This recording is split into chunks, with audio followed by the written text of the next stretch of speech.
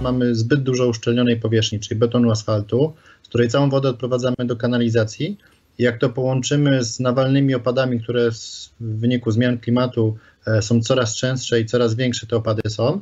no to, to nam tworzy taką wybuchową mieszankę, że żadna kanalizacja, no chyba żebyśmy mieli kan kanalizację wielkości tramwaju, tak, no to wtedy i, i równie wielkie studzienki kanalizacyjne, no to wtedy byśmy tego problemu nie, ma, nie mieli, ale to, tego się nie da zrobić, tym bardziej, że wtedy jeżeli byśmy taką dużą kanalizację mieli, no to ona byłaby kilka razy w roku tylko używana. Radio.